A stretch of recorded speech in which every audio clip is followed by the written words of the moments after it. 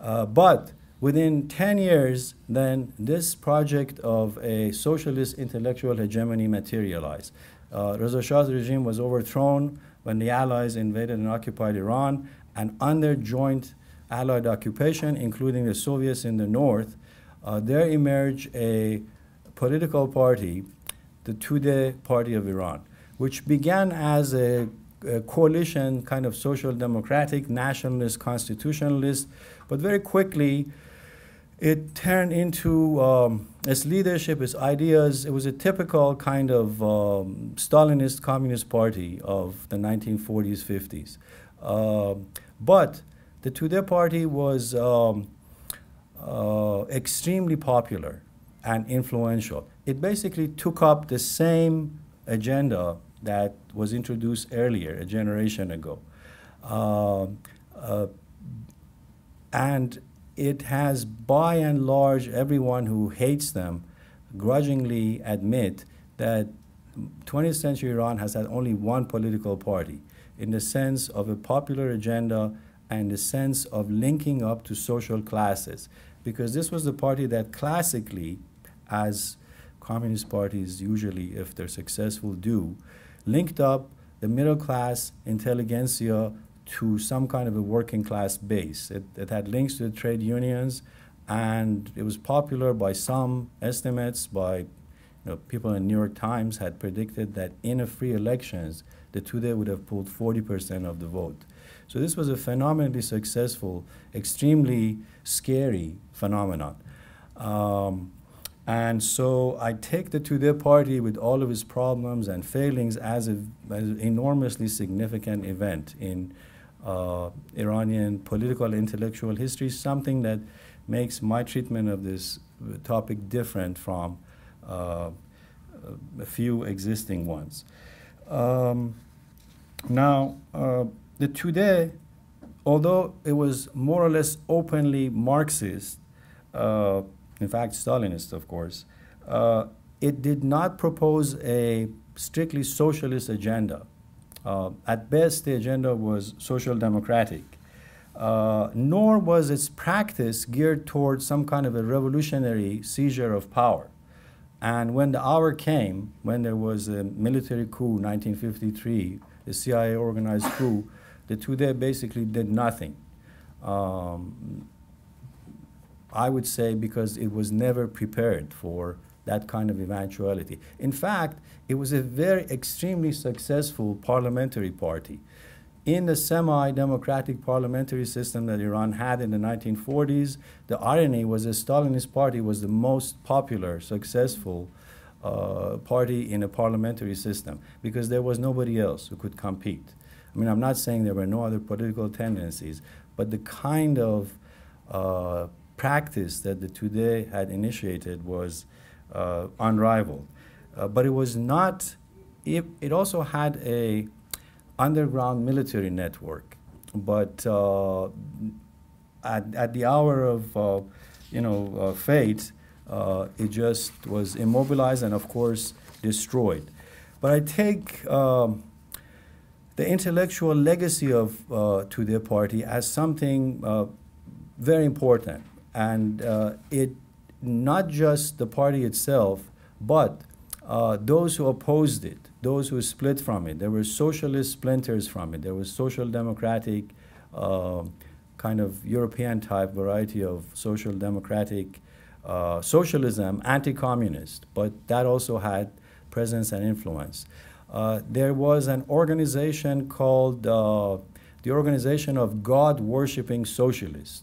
Um, and interestingly, they didn't call themselves Islamic socialists. They called themselves God worshipping because they wanted to expand beyond Muslims.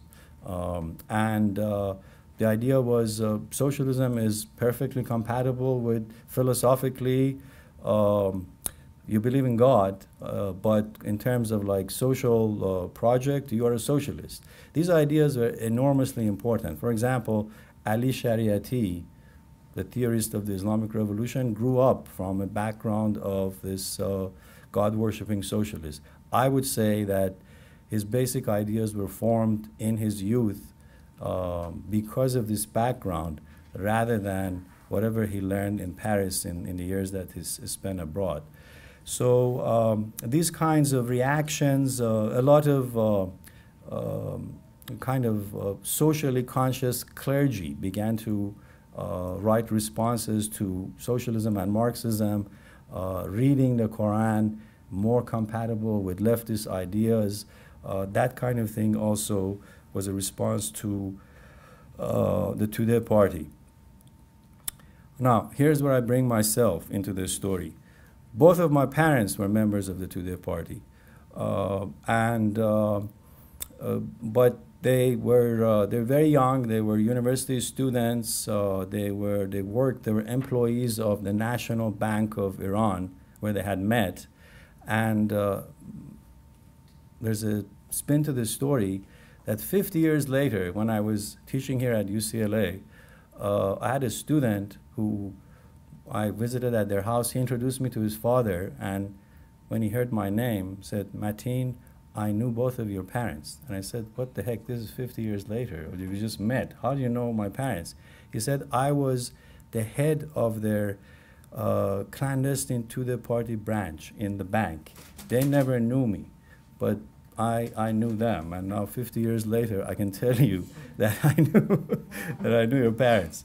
Uh, they, uh, they became disillusioned leftists, and uh, sort of that was my uh, you know, I came into the picture with this idea that, you know, socialism, egalitarian societies, idealism, everything. These are, these are beautiful, great ideas, but uh, something went wrong with their implementation. And uh, so uh, this uh, sense of uh, revolution betrayed, here I want to um, just go up to my next, all right. That's uh, Leon Trotsky. Uh, Kevan told me use uh, some book covers or uh, some kind of interesting images. This is an actual book that I read when I was in high school, uh, say early 1970s, and this is my life. Trotsky is my life. Revolution Betrayed was not allowed to be translated, but this was openly and legally kind of available, so I had read it. So I had this idea that uh, you know, uh, you could make the world's most shattering event and uh, it could go bad, uh, so to speak. And that's not a surprise. So um, uh, that's, uh, uh, that's Leon. Um, then I came to the US after finishing high school in Iran and immediately joined. There was this massive Iranian student movement whose history later I wrote as my uh, dissertation and then first book. And I joined, and this movement, I don't want to go into talking about that book and that period, but uh, it was uh, leftist, of course. It had different factions. Originally, it was not just leftist, nationalists, Muslims are part of it too. So they were basically driven out and yet it had different factions. The idea was it was not a uh, singular political party. There are different factions that fought each other, like the Islamic Republic, and uh, it also mostly they were Maoist. The followers of also a lot of sympathy for the Iranian guerrillas, but the movement also had a margin for people who consider themselves intellectual leftists, the type that I liked, the types that kind of we started having you know, group studies and study Lenin a little bit more, then let's go to Marx and then let's question Engels and Lenin and let's see if we really understand Marx, what he said. And so there was that kind of a margins of this movement too. And then the revolution came, 1978. I was not at UCLA yet. I was a student at Cal State LA. And uh, at some point I decided, okay, I'm ready. I'm going to go. Everybody's going to go and join. And so um, I left and uh, I don't have very many exciting images. This is uh, Fred Halliday's book uh, uh that I had uh, in my pocket reading on the plane going to Iran as uh, one of my you know, handbooks. And let's see, where is me? At, and here's me. Here I managed to bring myself in. this is true, it's the primary, it's LAX December 1978. And uh, I had uh, not only the scarf, but I also had one of those fisherman's hats that I lost in a, uh, in a protest. So um, let's stay on, on Fred's book, that's better. Uh, just, just to remember him. I want to remember a lot of people. Um, so um, let me see. Um, I remembering people, I, I, skipped over something that uh, when I was um, before the revolution, uh, even before the revolution, I used to go and audit Bob's uh, classes. It was just the theory of transition was all over my life. Before I took your seminar, uh, I would just go and audit uh, kind of my uh, own self-education on the side. I had become a history major. I went to our school library and read uh, the entire, at that point, 20 years of New Left Review, all of Perry's debates with this or that, bring him on, he would take them on, Lucio Colletti, whoever it was. And so um, I thought I'm ready, I'm ready, and here, here I come. And, and uh, but I but remember that I, I went as someone almost, I'm almost expecting um, the disappointment. Uh, and I was disappointed. As soon as I got there, even before the Islamic Republic was formed, I didn't believe in it. I was opposed to it. So it was a very difficult, what do you call it, between something and a hard place. I was, uh, I was opposed to the regime that was falling, and I was opposed to the regime that was not yet formed. And uh, it's not a very good place. Um, and uh, uh, there were some people on the left, a very small minority, uh, who uh, saw this and wrote uh, that uh, I was one of them. I have some of my, I got a job at some leftist newspaper in Tehran, and I have my articles to, to prove. You have to read Persian. But uh, I did say that the Islamic Republic, as it's showing, this is before it was formed, it has very strong kind of fascist tendencies. And what to do is the left has to kind of close ranks with liberals, with, you know, remember Germany in the 1930s. And we have, that's what we have to do. Um, the Iranian left at that time was really a huge uh, movement, hundreds of thousands of mostly university and high school students. And the, most of them were completely taken by the heroism and the heroics and the sacrifices of the guerrilla movement, both Islamic and uh, Marxist. And it was very inexperienced, it was theoretically unsophisticated, uh, and uh, the kind of arguments that I was making didn't have much of a chance. That project, by the way, of getting the left, the nationalists, the moderate Islamists together in some kind of a united front to block the advance of this kind of new uh, onslaught was tried. There was an organization, and I wasn't a member of it. I never joined any organization. Um, but um, uh, except one student organization. So there's someone here who knows, so that's. uh, but uh, um, it, it, it did not work because the two main guerrilla organizations who had now come above ground and had massive following did not join.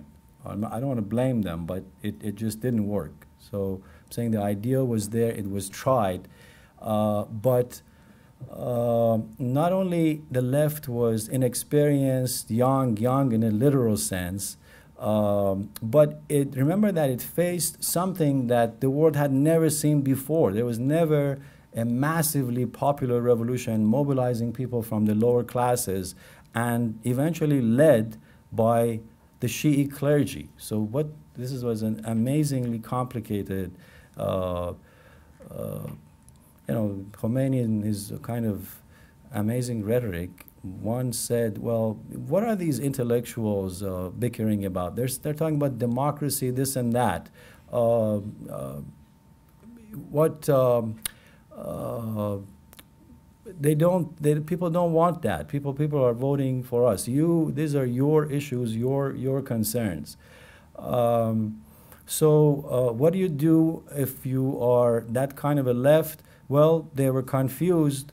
Most of them, uh, not the Islamic left, but the most of the Marxist left followed a revived Tudeh party whose leaders had come back from exile in Eastern Europe, and uh, their idea was to uh, get on the good side of Khomeini and uh, get him as close as possible to the Soviet Union and incite anti Americanism, understood as anti imperialism, and that was the Imam's line, uh, the anti imperialist line of the revolution that they would uh, promote.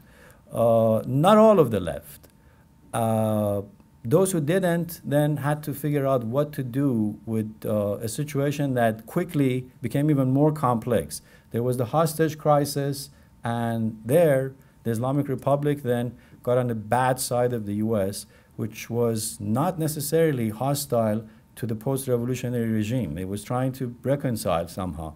The hostage crisis, uh, an event that, I mean, you can't blame it on the US. Uh, the, it was calculated to outmaneuver the left and um, uh, get the Islamic Republic's constitution, which wasn't getting much tracking. This was a second draft of the constitution that established a clerical regime.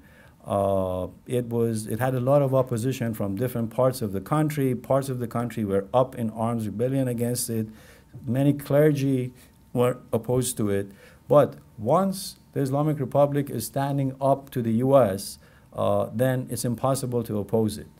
Uh, also, because in the middle of that, then uh, there was an Iran-Iraq war began. Um, the neighboring country, and here the Islamic Republic was not entirely blameless. Khomeini had called for Saddam Hussein's overthrow. And if you're vulnerable and you call for Saddam's overthrow, Saddam might invade you. Uh, and also if you're taking American hostages at the same time. Uh, so that's what happened. But uh, it also helped regime consolidation. The, that was the longest lasting Middle East war in modern times and uh, enormously costly, damaging. But the Islamic Republic consolidated itself, it imposed a reign of terror. Part of the left, the Islamic left, finally were cornered and they decide to bring down the regime by armed rebellion. The Mujahideen tried that. Uh, they did not have really you know, the, uh, although for, for a moment they decapitated the regime by killing almost its entire leadership in one uh, bombing. But basically, they were slaughtered with uh, anybody else who. Um, this is a time when uh, you know they would just pick you up and put you in a street corner and shoot you. Um, so that was the physical decimation of the Iranian left in the early 1980s, uh, the post-revolutionary period. Uh, then what happened to the remnants of the left? By, by the way, the Tudeh party did not get uh, scot-free either. Uh, it more or less, uh, if not cooperating, but also encouraged the regime to get rid of uh, the pro-American left. Whoever was not pro-Soviet obviously was pro-American. Uh, but once the regime did that, it came back and uh, destroyed the Tudeh party also. Put all of the leaders on TV to confess they were spies of the Soviet Union, and they did. And uh, that was that. That was the end of that. So, uh, what happened to uh, the remnants of the left, those who um, you know, could manage to, to stay alive or to go into exile or exile groups? Um, continued as exile groups do. They grew old. They started kind of bickering and factional fighting and turning into 200 different uh, groups and organizations. And uh, uh, the Mujahideen, the Islamic left, also turned into some kind of a weird cult. And uh, it's, it still exists, but I think it's just of a convenient uh, scarecrow that uh, the U.S. uses to um, you know, to as leverage on the Islamic Republic to tell them you have an armed opposition. Uh, and I don't think the Islamic Republic even takes them seriously. But they also use them as a boogeyman to tell people, oh, yeah, there's scarier people than us. And uh, you better hang in with, uh, with the enemy you know. Um, so um, this is about, um, I can see that people are becoming restless. Okay, I'm going to wrap up soon. Uh, this is about, um, I, this is where I want to fast forward to um, towards the present. Many people like myself in exile, I think, I don't know, maybe some are here, we can correct me or give a different interpretation. We just took refuge in, in the academe. Um, I was a historian. I kind of managed to become legal in the country, got to UCLA, um, kind of at least I was intellectually engaged with what was going on. Um, but uh, just again, going back to my own perspective, because I was a kind of leftist who um, my ideas did not hinge on some kind of some kind of actually existing socialism. So if kind of being on the left could withstand the uh, Bolshevik revolution deteriorating, we could still be a leftist when you saw what happened in Islamic Republic. The Iranian revolution failing was not like such a great shock. And eventually kind of we lived on to see the collapse of the Soviet bloc and uh, uh, I'm, I'm trying to kind of wrap up and fast forward to the end. Uh, I, I could not or did not go back to Iran for 20 years, but in the past 20 years, the revolution is now it's in 40th year. I did go back, and I, I know people in Iran uh, who are, uh, you know, like former leftists. Some of them are just good old-fashioned Stalinists who yes say yes, yes, yes, we have to change, and we have changed. Uh, some of them are various kinds of uh, socialists. Some are Marxists. Uh, the new generation who are uh, actually quite sophisticated. Many of them. They, many of them have switched to cyber state. They run websites. Oh, meant this is where I wanted to go. Sorry. Uh, let's see if I can uh, show you some of. Uh, uh, oh, we're not. Okay. Well, those those are their their uh, uh, cyberspace activism is one of them is called, for example, critique of political economy, نقد اقتصاد سیاسی. And I know people who are running it. They write, uh, you know, uh, quite sophisticated analysis uh, because, as Kevan was explaining, Iran is is not isolated from the rest of the world. It's people who, especially the younger generation, are quite savvy with information technology, and uh, what is kind of the intellectual place of what might be called the left in Iran is the same kind of left you have globally. It's uh, there are people who are anarchists also exist, but not not all that many. Different kind of socialists, some Marxists. Uh, the activists are usually university students. Uh, the ones, uh, kind of the uh, hegemonic elite, are some kind of academics or established intellectuals who, as long as I, they stay on the safe margin of being theoretical, you can have kind of endless debates, you know, Agamben and Rancière and uh, Carl Schmitt and Hegel and what, even Marx. Marx is translated quite legally. You can go purchase as many copies of Das Kapital in Persian translation and read it endlessly. No one bothers you. But if two people get together and organize to, you know, have a any kind of like environmental strike, then that's a problem. Um, so uh, I would say um, the Iranian left is a potentiality that Kevan mentioned. This I think it has um, it has possibilities. It has uh, what the uh, pro guerrilla factions after the revolution did. They took part in one uh, national parliamentary election and they pulled 10% of the vote. And I would say if there is any kind of opening of the political space, it's possible that the left can do something like that. And uh, with 10% of the vote, you can do a lot. I mean, 10% of the vote in this country, you can change the entire political system. if you're Bernie Sanders and you come out of the Democratic Party and do something else. So, uh, so can the Iranian left. They can, they can create, the model is there. The model is uh, People's Democratic Party in, in Turkey environmentalist, uh, open to ethnic demands, which is, by the way, one of the fault lines of uh, this is what uh, my friend uh, uh, Mirzad talked about. There, there's another fault line in Iran, and that's the question of ethnicities uh, Kurds, Azeris. Um, so if there is a more or less a coalition type uh, left that addresses these issues uh, feminism, environmentalism, uh, gender equality, uh, labor, working class, something like the platform of that party in Turkey, um, I think it could be significant. All you need is, is political presence. I mean, the days of storming heaven or the Winter Palace, uh, that uh, is not necessarily, at least not on the immediate agenda. In that sense, Plekhanov was right. So uh, yeah, with that, I don't want to belabor the point. I'm going to wrap up, and we can we can have a discussion.